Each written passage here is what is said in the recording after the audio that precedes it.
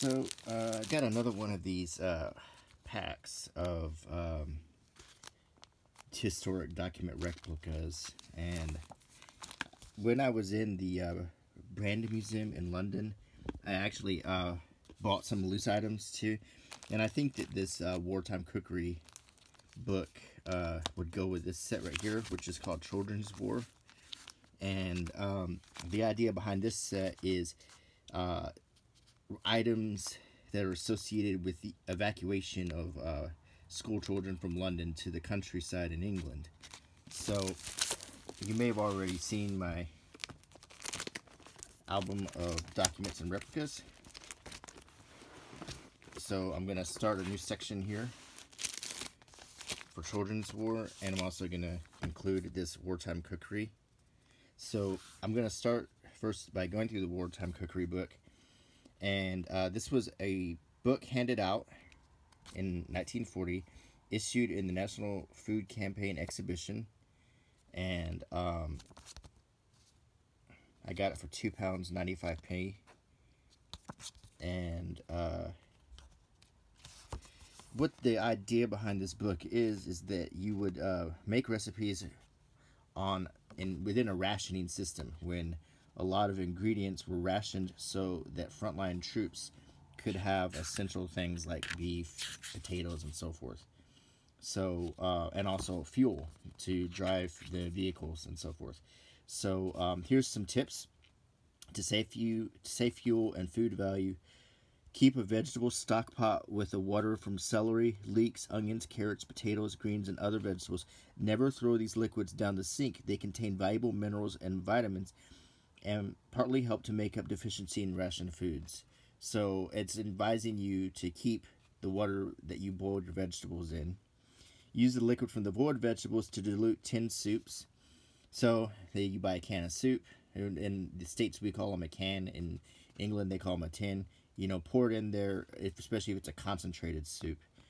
Um, when serving soup and vegetables at the same meal, cook the vegetables in the soup uh, steamed root vegetables. Yeah, that's another thing. Uh, there's a there's a show, a British show called 1940s House, where they show that um, they had to ration of water, so they would actually draw a line in the bathtub on how much water you could fill into the bathtub to take a bath. So they're saying if you're gonna cook vegetables, make sure that you um, cook it with the soup.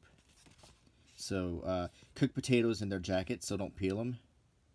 Uh, steam root vegetables Save all fat from cooking meat, refine it, and use it for other cooking purposes. So that just means strain it through a coffee filter.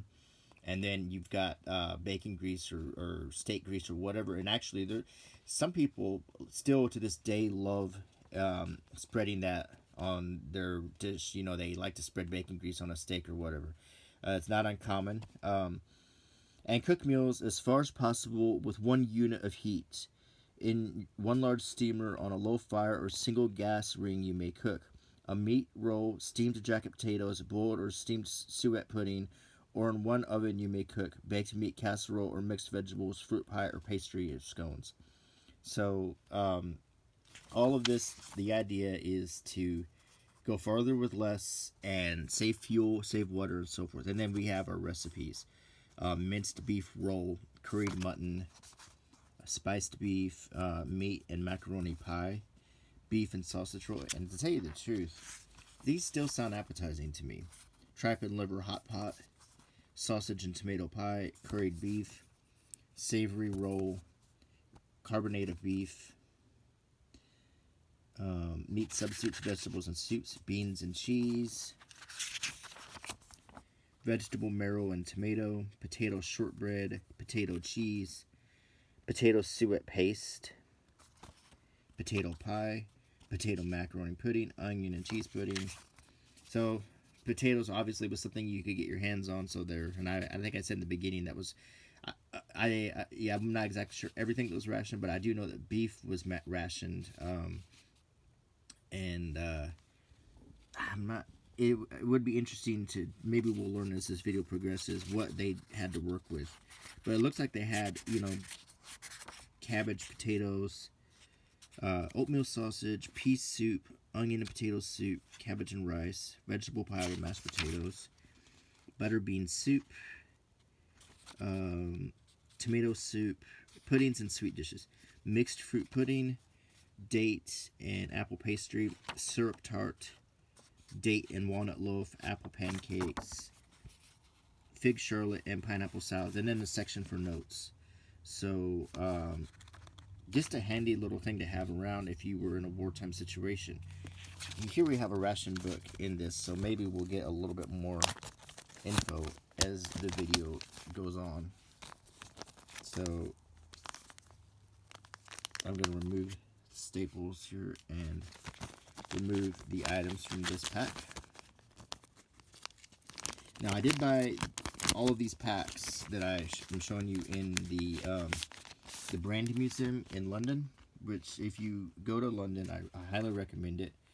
Um, it is full of stuff like this. You see it, and then you can you can walk out with replicas to take home, which is really cool. They always have a little set of trading cards in each one of these packs, which I really like. So when I start, I always uh, set aside um, trading card sheet or a business card sheet so I can have these where I can see them all.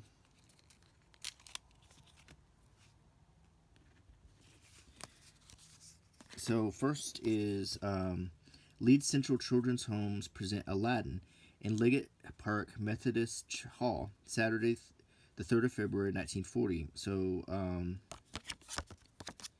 it's something for the kids, uh, wartime entertainment. Um, and this is just, uh, let's see if there's any commentary about this. Um, paper, various paperwork related to house inspections and anti-gas helmets for babies. Um, it doesn't really say. I, I'm just assuming that this is just a something that they might have even handed the kid if he was if he or she was scared that says, hey, later on you can watch Aladdin and, and cheer up. Um, these are um,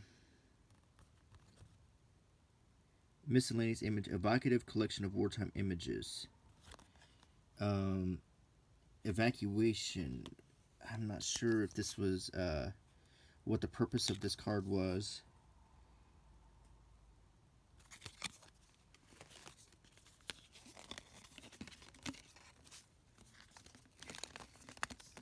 This is um, new clothes from old Make Do and Mend.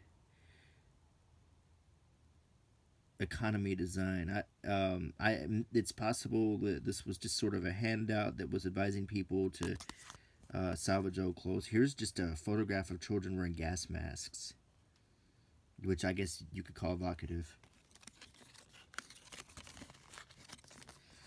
Um, a game for the blackout crosslets. A competitive crossword game. And this is just a an image of like something to play if you're biding time waiting. Uh, during a blackout, you had to turn all the lights out, cover your windows, and so forth. Very limited light. So maybe in that limited light, you'd have something to occupy your time so you wouldn't think about what was happening. Um, Sovereign's Crowning Achievement, Park Lane Assortment, uh, and that's another i'm guessing a card game or something i'm not sure. Here's another image of evacuee image that's very much like this one. Uh looks like the same artist. It says fanny fuzzy so maybe maybe it was like a little evacuee trading cards. Evacuation area and reception area I think these were tra I think these were trading cards of some kind, or a card game like air raid alarm, you know, and yeah, that's must be what this is. Pieces from some kind of card game that was made up. Dinky toys. Oh, look, at, those are actually kind of cool looking. Little trucks and planes and military vehicles and cars. Now that's pretty cool. Um, free another Island offer a new book for children all about the adventures of little boy blue also free the raiders another Island book which has proved very popular the raiders is a thrilling story for youngsters So a little ad for books. This is The Schools in Wartime. And we see little children in class with bombed out buildings behind them. Um, another uh, scene of evacuated children. Does this remind you a little bit of The Lion, the Witch, and the Wardrobe when all the children were being evacuated in the beginning? Um, here's the warmest toast, uh, Tynet underwear. uh, War Illustrated, uh, looks like a magazine cover for, uh, and look, uh, Piccadilly service in the metro, in the underground. I've been there in that in that very station. War Thriller, another magazine cover. War Illustrated, War Thriller. And here is Children's Lo Children Love It, Galloway's Cough Syrup. Keep your kids from coughing during the blackout. And Nipper Annual 1940 Daily Mail. So these are just interesting images associated with the blackout conditions.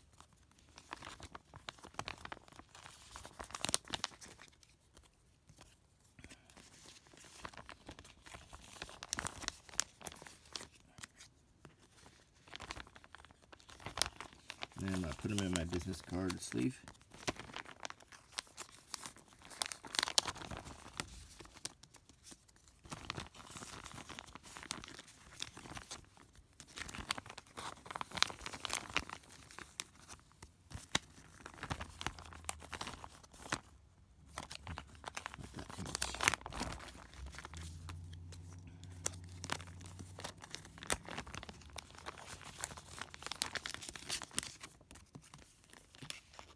Know that might be a little too big, so that's going to have to go in um, one of the bigger packs.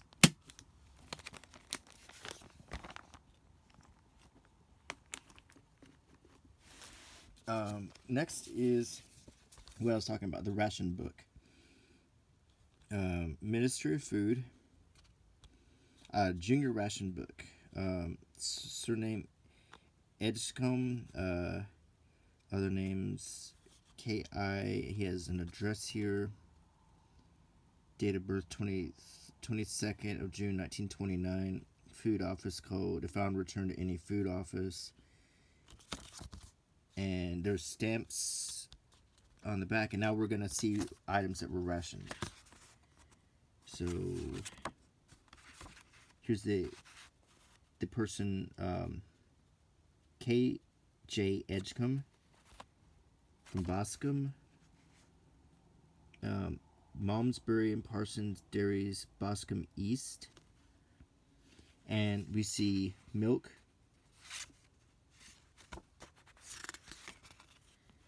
Uh, names and addresses of retailers. Again, so we rationed it, and then he got stamped when he purchased it. Meat, eggs.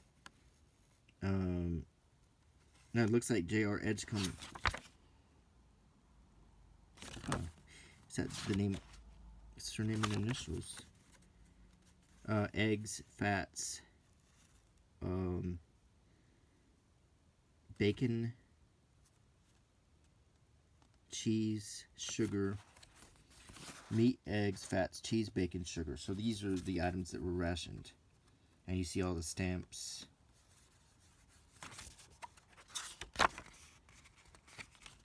And the dates. So, and then Huh, interesting. It would be really cool to see a tutorial on how this worked.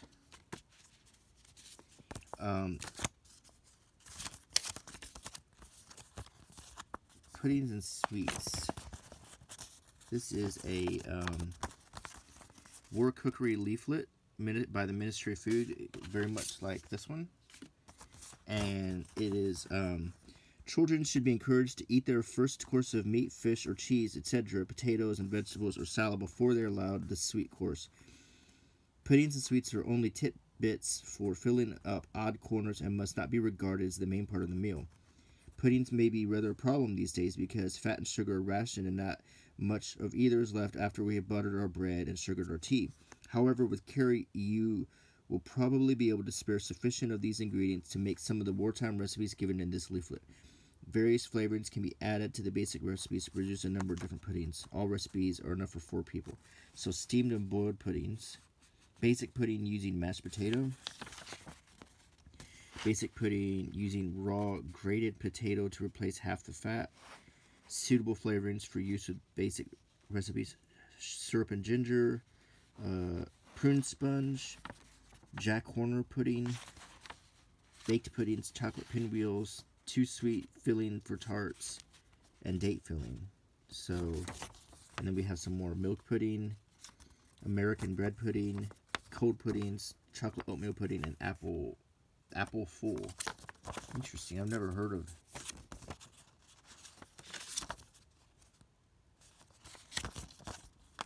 Very interesting. I did get uh, a pack of uh, legal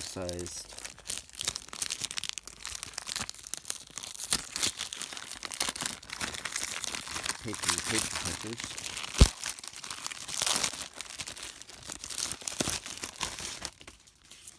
So we can start filling one up now.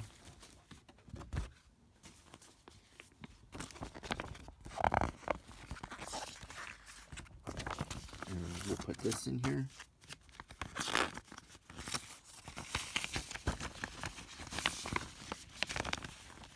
And it'll flatten out nicely we'll put in this ration book.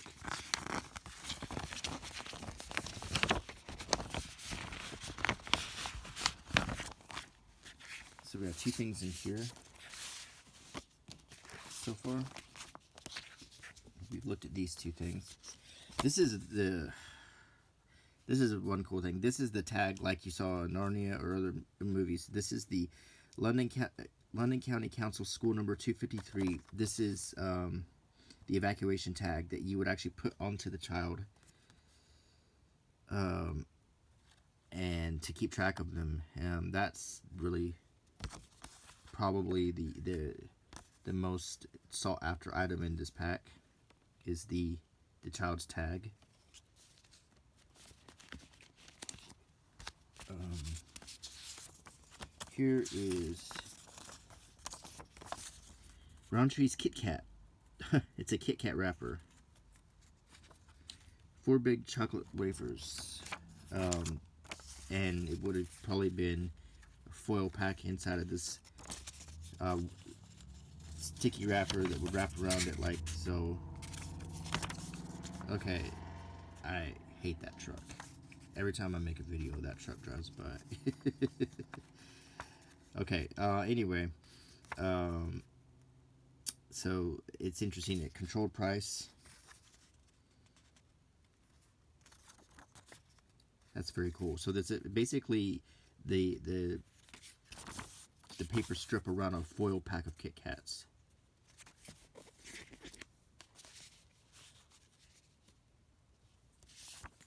This is a copy of the ma of a magazine. So, and it seems to be a whole magazine on here.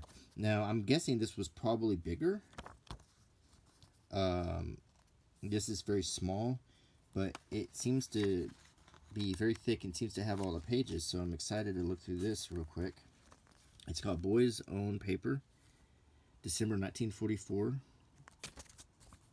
Good night, children everywhere. Never still for a moment what energy they use. Now it's time for that long, refreshing sleep. A cup of hot OXO and off to bed. For over 60 years, uh, King of the Road, Lucas. Um, it's an ad for flashlights. Um, Pyruma for perfect modeling. Uh, plastic cement. So it's, it's like uh, modeling clay, like I have, like I showed in my art supplies bag, to make. You know, I guess you had a lot of time back then too, if you wanted to make creations like that. Uh, the new Hudson trademark, the new Hudson bicycle. Um, the Wizard, Give Your Teeth Shine with Gibbs Dentifrice. It's uh, toothpaste or tooth powder. And here's some articles. Um, about you know it's kind of like boys' life, so it's like fishing and things that boys would like. Letters from home, um, letters from the front. So the kids would have a better understanding of what their fathers were doing. Then the section about model railroading. The Moorsom School Mystery. Oh, this is, looks like a um, brought by Colman's Mustard and a little uh, mystery story to put in here to entertain kids. This reminds me very much of a magazine called Boys Life that when I was a Cub Scout I used to like to read. Um, something about Haunted Manor House. I like the color part of it. Stanley Matthews, English, England's greatest outside right. Tint your own. Uh, this is a way when you took your black and white photographs to tint them, add color to them. Uh, another model railroading ad. Licorice candy. Um,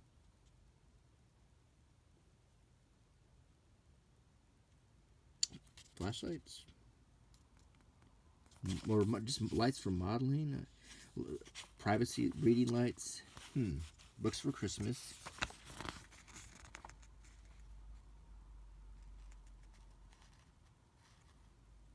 Here's an ad for webley pistols. That's, it was a different time what can i say when i used to read boys life there would be ads for for firearms too i don't know if they still do that or not um,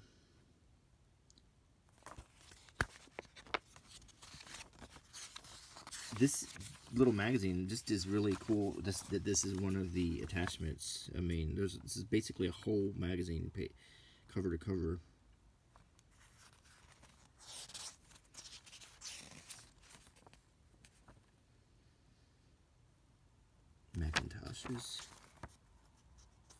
Victory stamps. I have that one. Have quite a few of the victory stamps.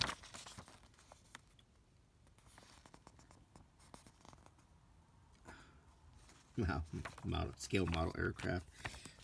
That's some cool stuff in, in this set here. So let's go ahead and um,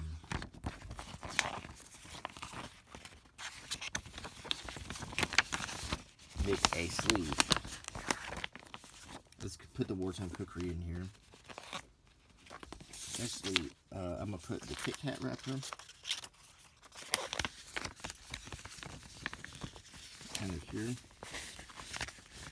And wartime cookery underneath.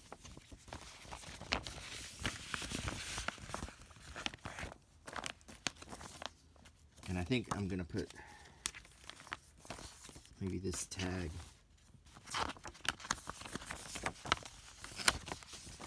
Like that. Let's see how this starts to look. Uh, the next thing is a entire children's newspaper edited by Arthur Mee. It's a whole paper from February 15th, 1941. And um, I'm not I'm wondering where this was distributed. If it was if it came to all kids or if this was something that was uh, handed out at evacuation stations to give kids something to, to fool with while they were waiting. But it has probably articles written in a sort of a kid-friendly way about the war.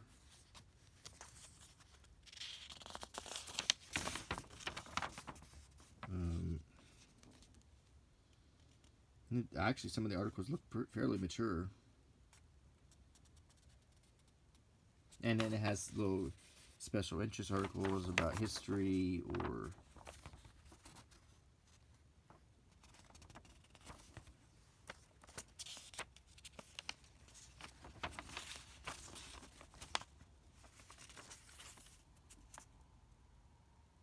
Hmm. It is a full straight up newspaper. World needs more food. Mussolini's black shirts. Uh, Shropshire Delight. Something to read before bedtime. Cook in Queen, Queen Cook in Queen Elizabeth's day.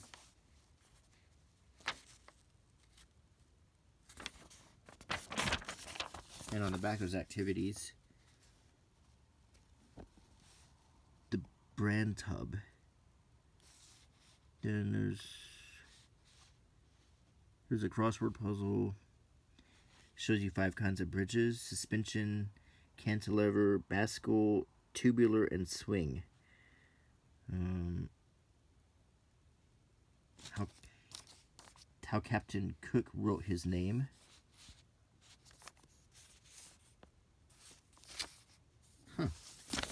Very interesting. So it's basically what what it is. It's a, a newspaper for children during uh, during the war.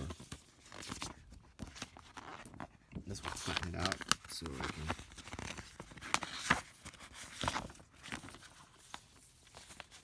Get the crease out of it.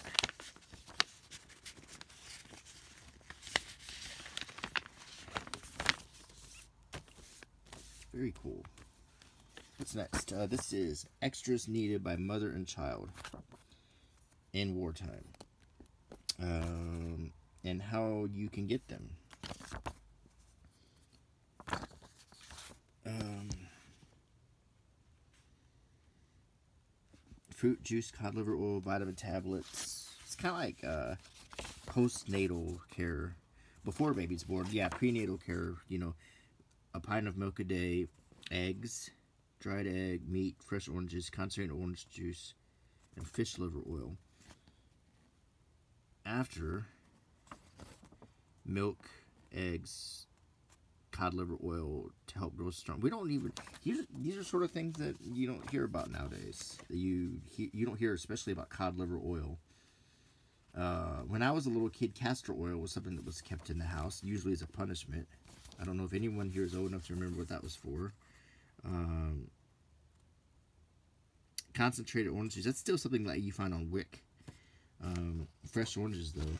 So, like, like nowadays, when they, at least when I was in the military and I w- we had WIC, um, the, the things you got were, uh, you got cheese, eggs, milk, baby formula, um, orange juice, frozen concentrated orange juice, um, stuff like so it. But the cod liver oil is interesting. Interesting. This is this special respirator for a small child is government property. Any person who has it in his possession is responsible in law for using care to keep it in good condition. It is to be returned to the local authority in whose area the possessor may be at any time, either on request or when no longer required. This is um, doesn't say. This looks like uh, a, a, something that was attached to a respirator over um, or gas mask. Probably what they would have called a respirator. What is this? This is um, visitor's record form.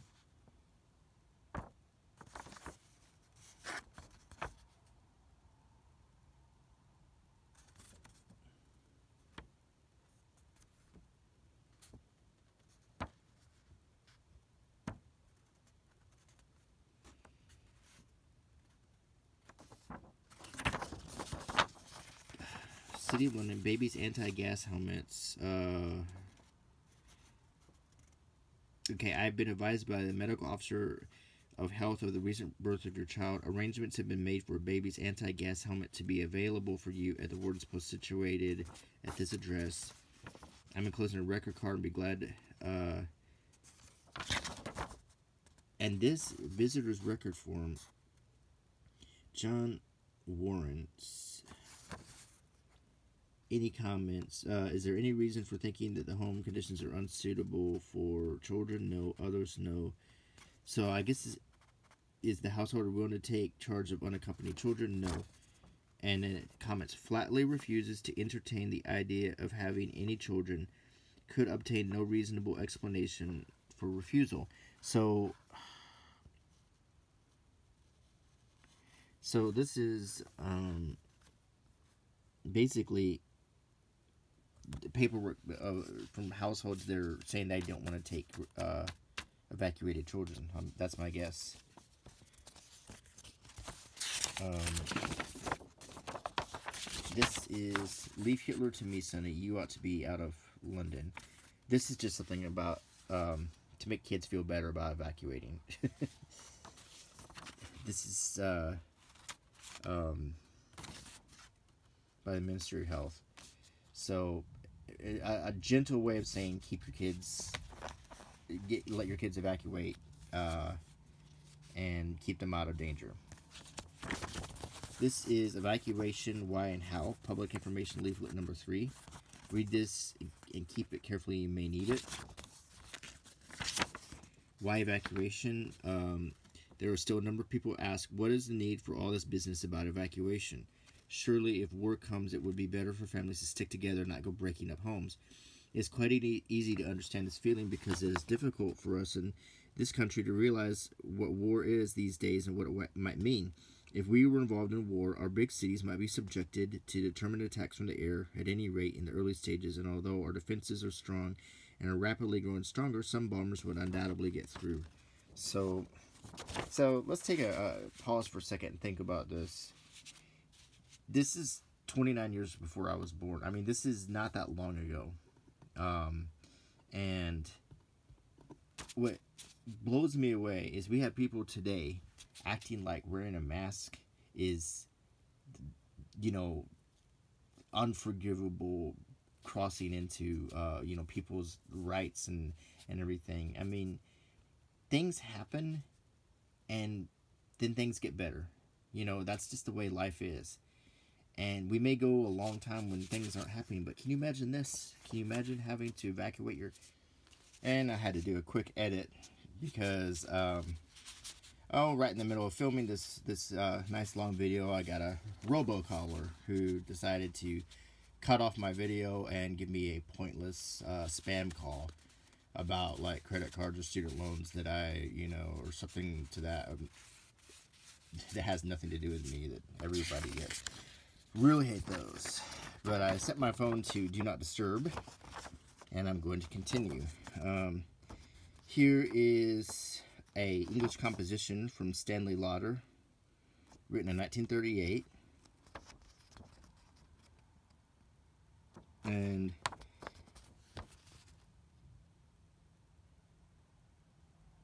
and it's about uh, Hitler's invasion of Czechoslovakia. Czechoslovakia um, written in a child's handwriting.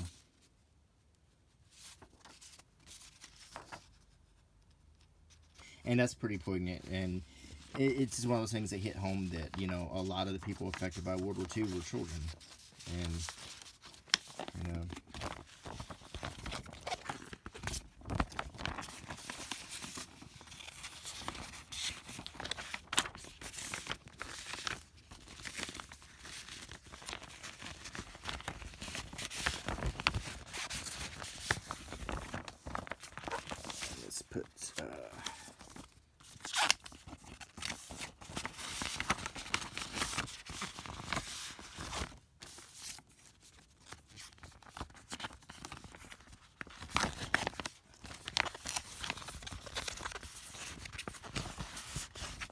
the Aladdin ad here. And um,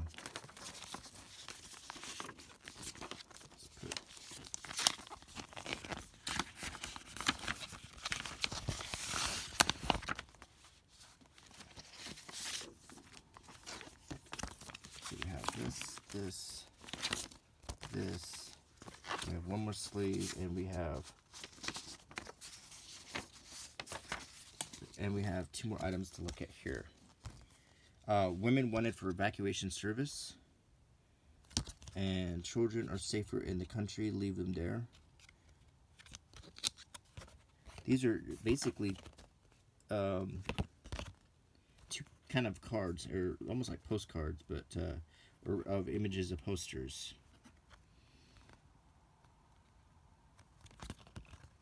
Hello, uh, how How are you, my little evacuee? I hope you're happy by the sea. I love your letters. Please do send another. Loving kisses from your mother. And that's these are just images to try to cheer people up. This was a dark time. It might be you caring for evacuees as a national service.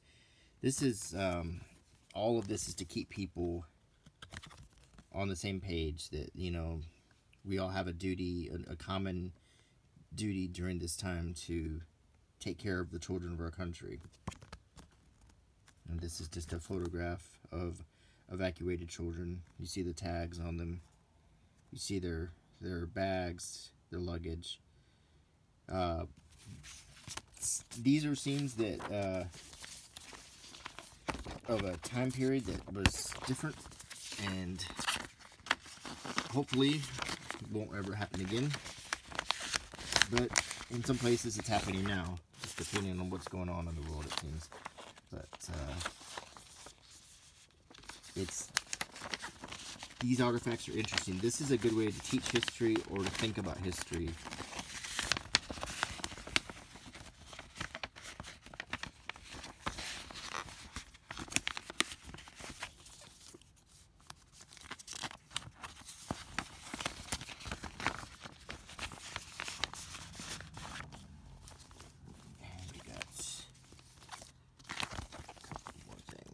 this picture here.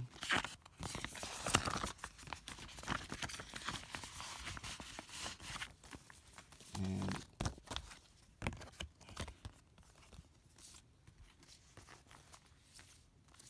put this.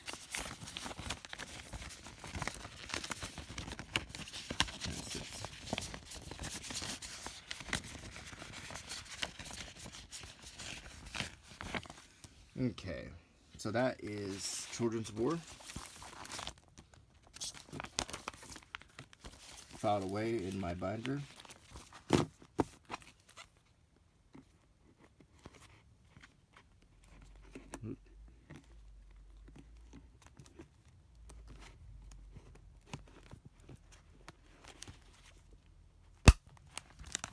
hear the thunder outside. I put the card right here in this pocket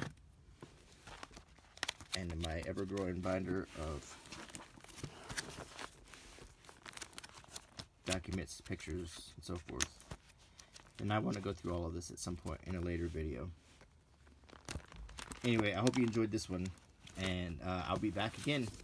So please uh, click the bell icon, uh, rate, comment, subscribe, um, and I, I try to answer comments uh, as much as I can right now I'm just getting videos up and then I do uh, do my best to come around and answer every comment.